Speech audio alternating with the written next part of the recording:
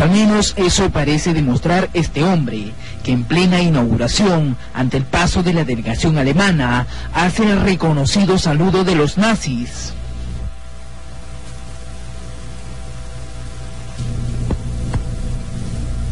Estas imágenes sorprendieron a los que se encontraban en el lugar, como es el caso de la propia esposa del príncipe Carlos, Camila Parker, que lo miró muy desconcertada.